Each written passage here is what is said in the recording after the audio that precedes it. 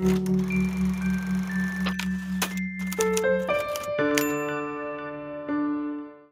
study what climate change means for us in the places where we live.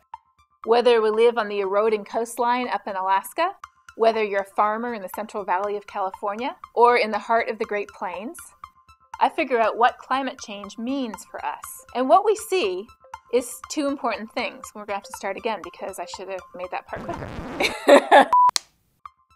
I study what climate change means to us in the places where we live. How does it matter to us? What's already affecting us today? And what does climate change mean in the future? What we see are two important things. First of all, climate is already changing. And second of all, the magnitude of future changes depend on the choices that we make now and in the next decade. Was that it? 30 seconds?